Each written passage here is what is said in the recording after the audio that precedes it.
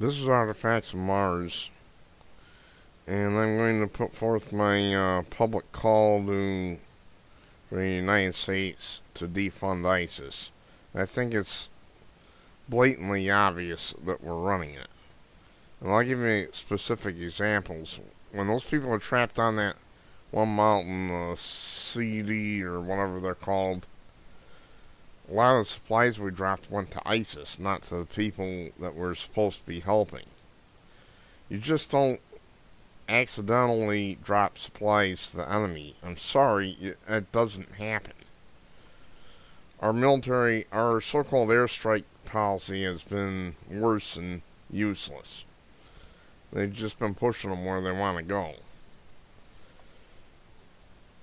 It's it certainly has not slowed them down. They're all across the Middle East, moving into Africa. It's utter BS. Uh, how and how they get all that military hardware? Look at. Uh, I'm gonna give you some examples from wars where uh, this type of thing you just don't allow it. It's called giving aid and comfort to the enemy, and this type of thing just is not allowed. Period. End the subject. Um. Okay. Let's take. Let's go back in time to the Battle of Midway. Three of the Japanese carriers were sitting at the bottom of the Pacific Ocean, and the fourth the uh, Hiryu had just been bombed, and Admiral Yamaguchi refused to leave her. Uh, she was scuttled to keep the Americans from uh, boarding and salvage, salvaging her. The Hiryu was. Um, Nagumo wanted to attack the American fleet, but they didn't have Hiryu didn't have enough planes left to really do anything. And then Task Force 16 planes swooped in, bombed the snot out of it. And they scuttled it, and eventually it sank. You just don't give away your uh, military stuff to the enemy, and yet we dropped supplies when the uh, ISIS was going after uh, a city or whatever the. I couldn't even pronounce them if I was looking at it. It's a weird name, but them religious people. I'm just gonna say that they're harmless people too. All right, let's go with some other examples. Uh, Battle of the Coral Sea. The carrier Lexington was bombed and torpedoed by the Japanese, and it was burning. We didn't want the Japanese to be able to get on board and salvage it. So we sent in the destroyer Phelps and torpedoed the carrier in order to sink it and make sure the Japanese couldn't sa salvage it. Same battle, Battle of the Coral Sea. Oiler and Neosho and destroyer Sims were attacked by Japanese. And Sim sank. Neosho was burning for days when uh, they finally scuttled her in order to keep the Japanese from getting their hands on it. Okay, War of 1812. Battle between the Bonhomme Richard and French-made Serapis. Uh, Bonhomme Richard was seriously damaged, but Scottish Captain John Paul Jones wouldn't give her up. A couple of his uh, people tried raising a white flag. He shot one of them, threw the gun at the other one, cracked his skull open. Then he had the famous words when the Serapis was calling for his surrender, he said, I have not yet begun to fight. Of course, the Bonhomme Richard uh, sank, but he captured the Serapis. Talk about a Pyrrhic victory, that takes a prize. But anyway, you just don't give up.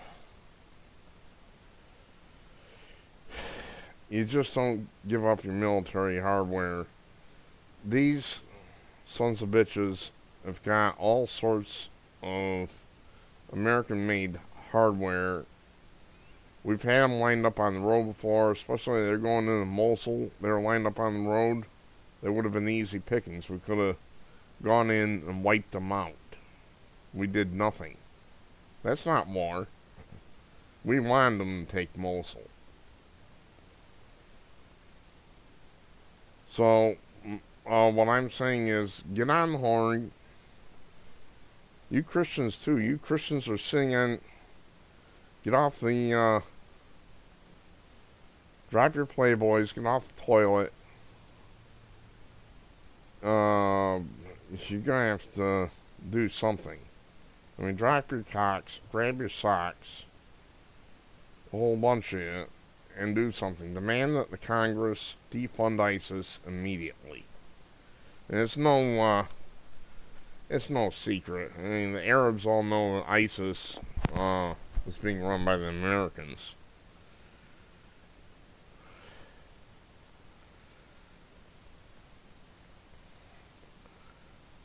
They have all our equipment. They have. We drop air, airdrop supplies to them. We could have wiped them out anytime we wanted to. This, uh, when Obama, before Obama had, was elected in the first term, so I don't I don't recognize that election by the way as being valid. But anyway, before he was elected, he said uh, we need a civilian security force as powerful and as well funded as the U.S. military. Now, we've been cutting back our own military,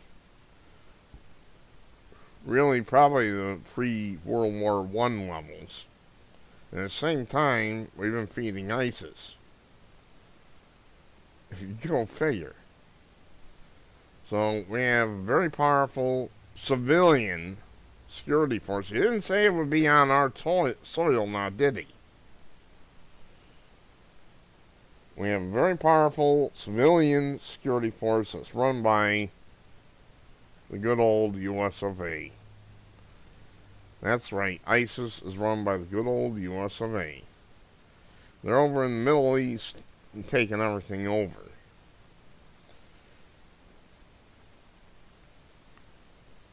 It's just like just like uh, Dumbo there promised. Just like Obama promised. He's got a civilian security force only there in the Middle East. They're not here.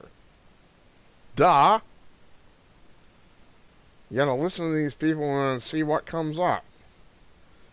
I give Obama one thing, he makes good on his promises. He does exactly what he says. Problem is, people are too stupid in this country to understand how serious this uh, really is. Me, I shouldn't say stupid, but people need to wake the hell up and realize what's going on. This is from Freedom Outpost.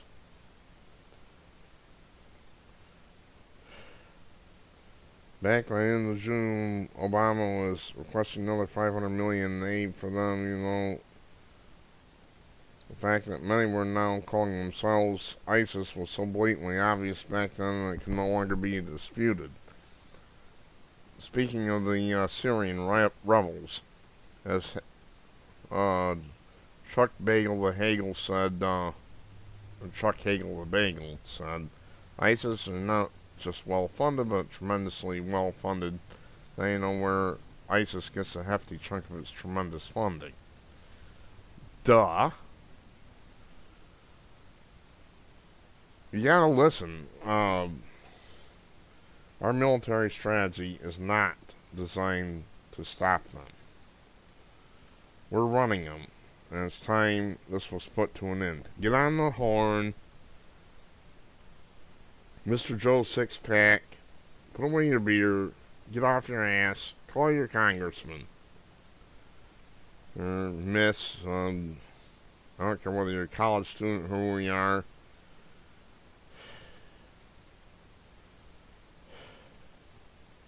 And you Christians, you can do more too. Uh, your God has not done blasted thing to protect the Christians in Middle East. Think about that. Then you uh, sit there and chortle and enjoy how powerful your God is. Well, gee whiz.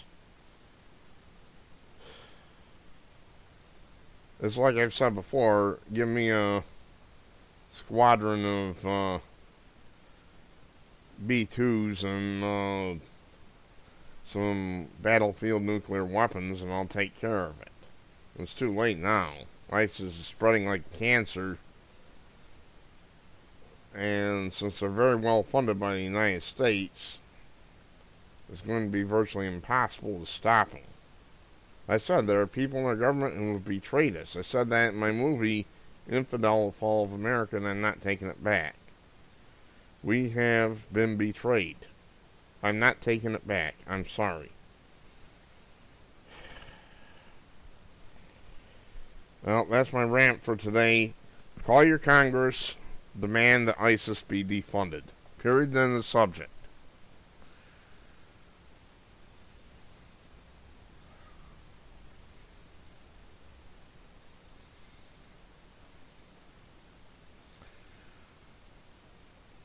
you ought to take a look at this uh, article on Freedom Outpost.